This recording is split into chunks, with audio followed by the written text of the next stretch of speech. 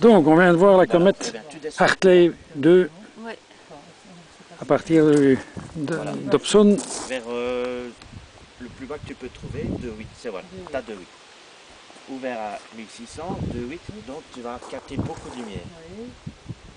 Tu as, tu as le retardateur qui est toujours en fonction. Le flash n'est pas mis, c'est bon.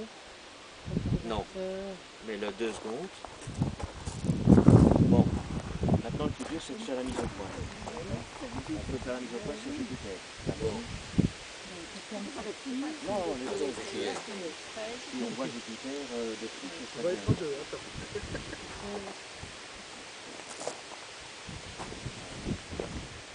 Je pense que vers 33, il ne va pas me la donner.